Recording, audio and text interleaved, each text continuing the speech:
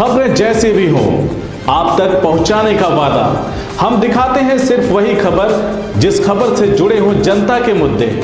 धूप से छांव तक और शहर से लेकर गाँव तक, हम दिखाएँगे हर एक खबर सीआईबी इंडिया न्यूज़ पर। नमस्कार, आदाब, मैं हूँ वसीम अकरम। शुरू करते हैं खबरों का सिलसिला। कन्नौज में प्रशासन ने आज भू माफियाओं के कब्जे से 90 बीघा सरकारी ज़मीन खाली करवाई।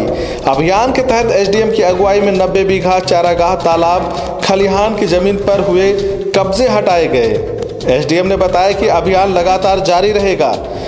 यह कन्नौज के उमरदा ब्लॉक के पूरा राय ग्राम पंचायत के मजरा गुंदारा का नज़ारा। यहाँ की सरकारी 90 बीघा ज़मीन पर गाँव के ही दबंग भूमाफियाओं ने कई साल से कब्जा कर रखा था। डीएम ने ज़मीन खाली करवाने के निर्देश दिए। डीएम के निर्देश के बाद गुंदारा गाँव फोर्स लेकर पहुँचे एसडीएम तिरवा ने कब्जा खाली करवाया।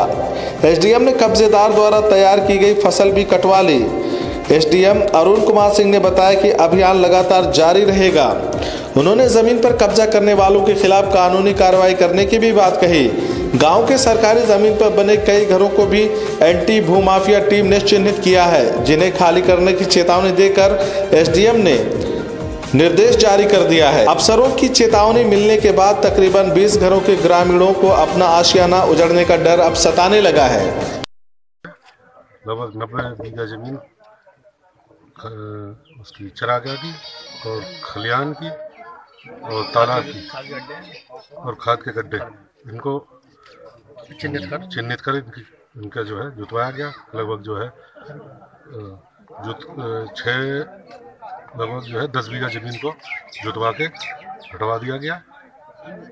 और अब इंदरगढ़ सापर गाँव में अब चिन्हित करने के लिए जा रहे हैं। वहाँ समस्या है, वो हल करने के लिए